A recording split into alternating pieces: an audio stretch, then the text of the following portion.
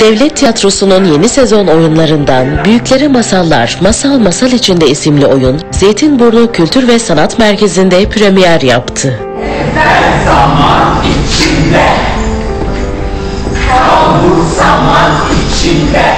Ahmet Ümit'in yazdığı 7'den 70'e her yaştan seyirciye hitap eden oyunun yönetmenliğini Sabri Özmener üstleniyor.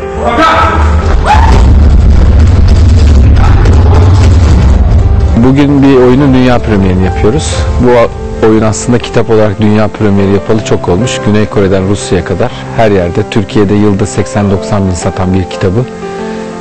Fatma anlatmış Ahmet'e. Ahmet de dinlemiş bunu masal olarak.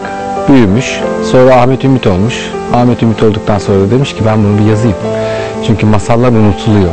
Geleneğimiz unutuluyor, göreneğimiz unutuluyor. Unutulmaması için de oturmuş yazmış. İyi etmiş. Günay'da oturmuş bunu oturmuş oyunlaştırmış. Sabri de demiş ki ben bunu oyun yapayım.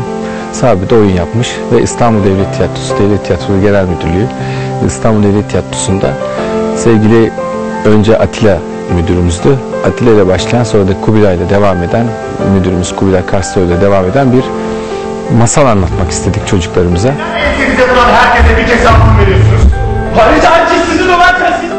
Titizlikle hazırlanan oyunun provaları uzun sürse de ekip sahnede seyirciyle buluşacağı için heyecanlı.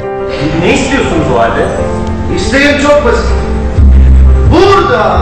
Provalar e, iki, iki buçuk ayı buldu. Çünkü bazı aksilikler oldu, sahne değişiklikleri oldu, kadrolu değişiklikler oldu. Ama e, oyunun ana unsuru harekete dayalı olduğu için Devlet Opera Balemizin e, ünlü koreograflarından, dansçılarından Alparslan Karaduman'la çalıştık. E, açıkçası o daha çok çalıştı. Yani oyunun %60'ı bence ona ait. Oyunun sadece %5'i bana ait. Çünkü e, iyi bir e, dekoratörümüz e, Gökhan Yücesal, iyi bir kostüm kreatörümüz Burcu Melek Bozan ve çok iyi bir ışık kreatörümüz Serhat Akın'la buluştuk. E, ve onların yaptığını ben birleştirdim. Bana da birleştirmek düştü. E, iki buçuk aylık bir çalışma neticesinde bugüne geldik.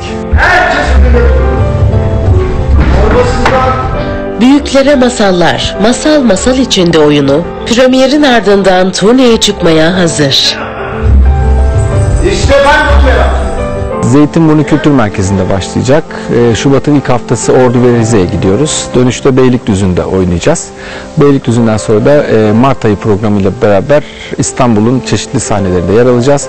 Sanıyorum Edirne'ye de gideceğiz. Çünkü biliyorsunuz devlet tiyatrolarımız büyümeye devam ediyor. Edirne Devlet Tiyatrosu da perdelerini açmaya başladı.